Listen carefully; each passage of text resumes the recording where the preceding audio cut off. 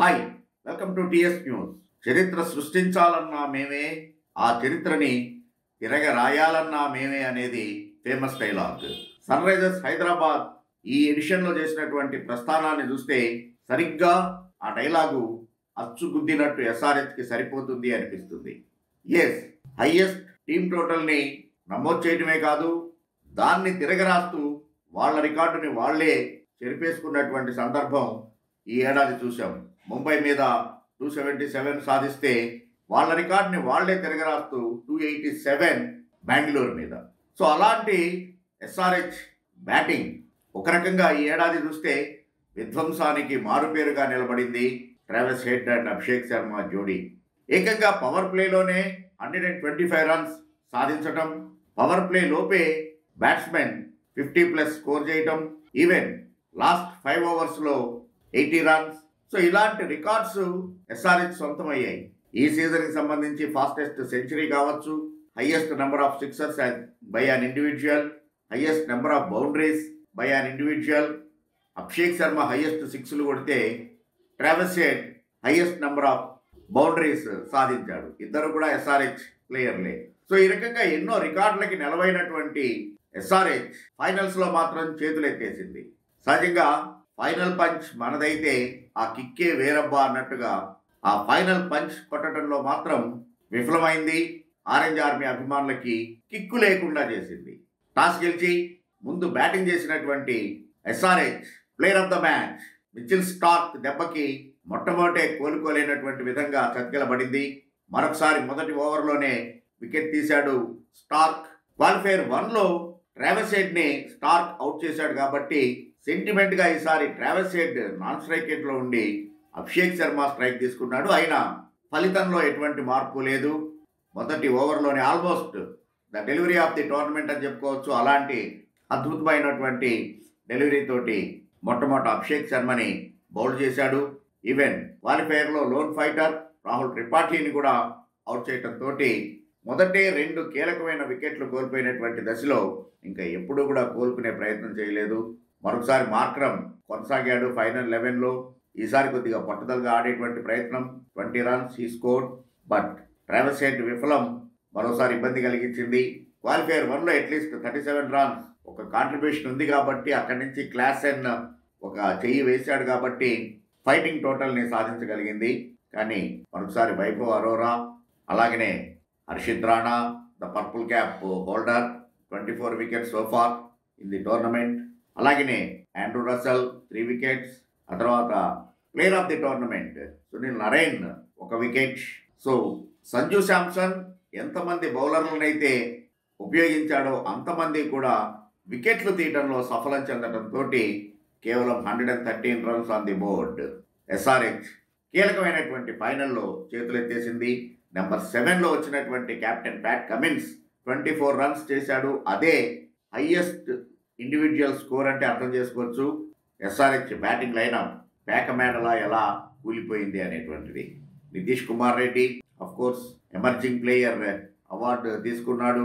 That's true he's delivered a good all round show but కీలకమైనటువంటి మ్యాచ్ల్లో నిలబడి ఆడితేనే మరింత గుర్తింపు లభిస్తుంది మరింత తొందరగా పైకి ఎదిగేటువంటి అవకాశం లభిస్తుంది. కానీ నితీష్ కుమార్ కూడా క్రూషియల్ మ్యాచ్ల్లో చేతులెత్తేస్తూ ఉన్నాడు.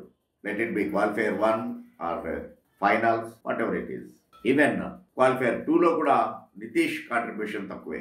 ఖచ్చితంగానే ఎస్ఆర్హెచ్ అది వాపా బలుపా అనేటువంటిది తెలుసుకోవాల్సినటువంటి పరిస్థితి తయారైంది.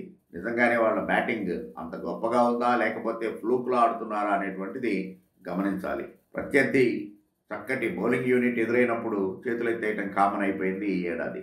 అలానే ఎస్ఆర్హెచ్ని మరీ విమర్శించేటువంటి పరిస్థితి కాదు. ఇక్కడ దాకా జరిగినటువంటి జర్నీ చాలా అద్భుతంగా జరిగింది స్ఫూర్తివంతంగా జరిగింది. ఆరెంజ్ ఆర్మీ అభిమానుల్ని అలరించేటువంటి విధంగా సాగింది అనటంలో అనుమానం ఏం లేదు. ఫైనల్స్కి రావడం itself a good achievement మొత్తం మీద మూడో టైటిల్ సాధిస్తుంది అనుకునేటువంటి పరిస్థితిలో మాత్రం నిరాశని కలిగించారు. కాకపోతే ఓడిపోయిన విధానం కూడా చాలా నిరాశని కలిగించింది. ఫైట్ చేసి ఓడిపోతే అది వేరుంటుంది. ఉదాహరణకి రాజస్థాన్తో జరిగినటువంటి మ్యాచ్లో మనం వన్ రన్ విక్టరీ సాధించాం పంజాబ్తో జరిగిన మ్యాచ్లో టూ రన్ విక్టరీ. సో ఇలాంటి థ్రిల్లింగ్ ఫినిష్లు కనుక ఉండేట్లయితే బాగుండేది. అది లేకుండా వన్ సైడెడ్ ఎఫ్ఐఆర్ అయిపోవటమే ఇక్కడ ఇబ్బంది కలిగిస్తున్నటువంటిది. మొత్తం మీద కేకేఆర్ చక్కటి బౌలింగ్ ప్రదర్శనతో థర్డ్ టైటిల్ని సాధించింది. Two thousand twelve two thousand ఫోర్టీన్లో గంభీర్ క్యాప్టెన్సీలో టైటిల్స్ని సాధిస్తే ఇప్పుడు గంభీర్ మెంటర్గా ఉన్నటువంటి సమయంలో మరొక టైటిల్ని గెలిచింది. ఓవరాల్గా Sanju Samson eighth captain in IPL history to lift IPL trophy Rohit Sharma ఐదు సార్లు ధోని ఐదు సార్లు గెలుచుకుంటే ఆ తర్వాత రీసెంట్గా హార్దిక్ పాండ్యా కూడా ఆ జాబితాలో చేరాడు. అలాగనే of course Shane Warne Adam Gilchrist David Warner. So ఇలాగా ఇంత మటుకు సంజుతో కలుపుకొని శ్రేయస్ అయ్యర్తో కలుపుకొని ఎనిమిది మంది కెప్టెన్లు టైటిల్ని గెలుచుకోగలిగారు వాళ్ళ జట్లకి. సీజన్ ప్రారంభంలో స్టార్క్ మీద ఎంత పెట్టుబడి ఎందుకు పెట్టారు అనేటువంటి దశ నుంచి క్రంచ్ సిచ్యుయేషన్లో ఎలాగా ఎక్స్పీరియన్స్ ఉపయోగపడుతుంది? స్టార్క్ లాంటి ఆటగాడు ఎలా పెర్ఫామ్ చేస్తాడు? జట్టుకి విజయాలను అందిస్తాడు? అనేటువంటిది ప్రూవ్ చేస్తూ మరొకసారి అద్భుతమైనటువంటి బౌలింగ్ మిచిల్ స్టార్క్ ద్వారా అటు ఎస్ఆర్హెచ్ బౌలర్లలో ప్యాట్ కమెంట్స్ మొదట్లోనే సునీల్ నారాయణ్ వికెట్ని తీసి కొద్దిగా ఆశలు కల్పించిన మరొకసారి భువనేశ్వర్ కుమార్ తేలిపోయాడు ఏకంగా. వెంకటేష్ అయ్యర్ భువనేష్ కుమార్ వేసినటువంటి సెకండ్ ఓవర్ ఇన్నింగ్స్ థర్డ్ ఓవర్లోనే చెలరేగి ట్వంటీ రన్స్ సాధించడంతో ఆల్మోస్ట్ మింట్ మింట్మంటూ ఉన్నటువంటి ఎస్ఆర్హెచ్ ఆశలు కాస్త ఆవిరైపోయాయని చెప్పుకోవచ్చు. ఈవెన్ రహమనుల్లా గుర్బాజ్ కూడా చాలా కీలకమైనటువంటి ఇన్నింగ్స్ ఆడాడు. షాబాజ్ అహ్మద్ ఆ వికెట్ని సాధించాడు ఎల్బిడబ్ల్యూ రూపంలో బట్ అప్పటికే జరగాల్సినటువంటి డ్యామేజ్ అంతా అయిపోయింది. విజయానికి కేవలం ట్వెల్వ్ రన్స్ దూరంలో ఉన్నప్పుడు గుర్బాజ్ అవుట్ అయ్యాడు ఆ తర్వాత కెప్టెన్తో కలిసి వెంకటేష్ అయ్యర్. లాంఛనాల్ని పూర్తి చేశాడు. ప్లే ఆఫ్లో వరుసగా నాలుగు హాఫ్ సెంచరీలు చేసినటువంటి రికార్డుని వెంకటేష్ అయ్యర్. ఓవరాల్గానే ఈ సీజన్లో వెంకటేష్ అయ్యర్ చాలా ఫామ్లో కనబడ్డాడు. దాన్ని కొనసాగిస్తూ మరొక useful contribution fifty two runs not out ఓవరాల్గా మొదటి నుంచి టాప్లో ఉన్నటువంటి కేకేఆర్ఏ కప్పును కూడా గెలుచుకోగలిగింది.